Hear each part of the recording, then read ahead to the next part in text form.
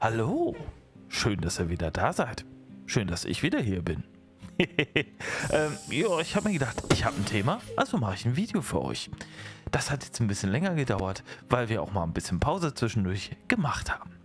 Das hier ist äh, der American Truck Simulator in VR, VR mit der Oculus Quest 3 und ich habe mir Mühe gegeben, das so schön wie möglich für euch zu capturen, damit ihr mal hier seht, wie das in VR aussieht. Und ich mache mal so eine kleine Roomtour hier. Guck mal, hier hinten ist das Bett mit dem originalen Red Rage Kissen und einer schönen fünfseitigen Gitarre oben drüber, so wie das sein muss. Ein Paket Plempe, damit man auch, falls man Durst kriegt auf dem Weg oder mal müde wird, ein schönes, kühles Getränk zu sich nehmen kann. Den Müll da unten ignorieren wir mal. Ähm, ja, ich muss das Bett noch beziehen. Könnte ordentlicher sein. Aber so alles in allem ist das schon ganz schön. Und so in 3D sieht das dann im Quest 3 Headset aus. Äh, da unten ist eine Dose Plempe ohne und äh, der schöne Red Rage Logistik Mac. Und natürlich haben wir hier einen kleinen Lufterfrischer in der Sorte Red Rage. Was auch sonst. so, ja, dann schmeißen wir die Kiste mal gleich an hier. Und dann zeige ich euch mal, wie das aussieht, wenn man hier so ein Rötchen fährt. So, zack. Nicht wundern, das Bild ist oben und unten ein bisschen beschnitten, damit es hier passt. Ähm, ich muss das auch etwas stabilisieren, weil mein Kopf dann doch zittriger ist, als das im Endeffekt im Video aussieht. Aber wir drehen jetzt mal hier so ein Rötchen ums Karree und gucken uns den Spaß mal an. Oh, und was soll ich sagen? Das macht Spaß. Ihr habt das Gefühl, ihr sitzt in so einem Kenworth W900. Das ist der Knaller. Und ja, da kommt ein richtiges Highway-Feeling auf ich kann gar nicht sagen, wie viel Bock das macht. Vor allen Dingen, weil man halt auch die Tiefe einschätzen kann. Und auch diese Abbiegungen auf der Straße, das kann man sehr gut einschätzen, wenn man da mal so ein bisschen rumfährt. Ich cruise mal hier so ein bisschen durch die Gegend. Ah, so, rechts um. Mal ganz davon abgesehen, man kann tatsächlich in beide Außenspiegel gucken. Das macht auch richtig Spaß.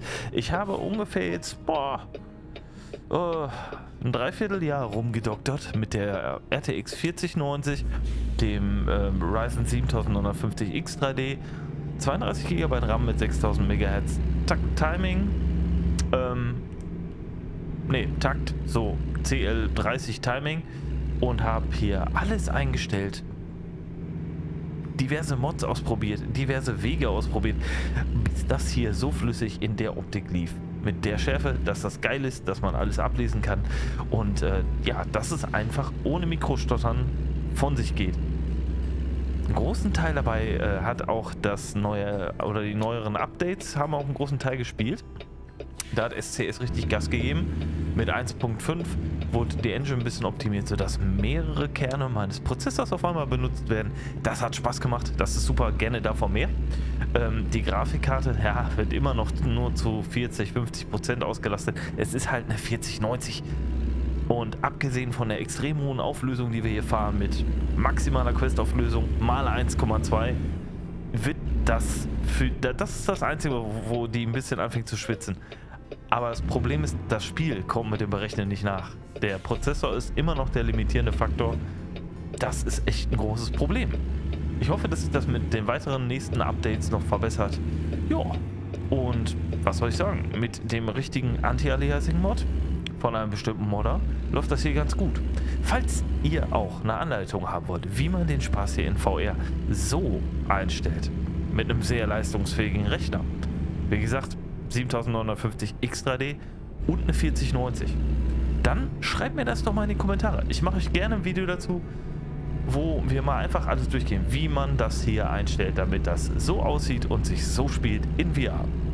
Ansonsten kann ich nur sagen, Dankeschön fürs Zuschauen bei diesem kurzen Erfahrungsvideo und wünsche euch eine super Restwoche und kann nur sagen, bis denn, euer Dan.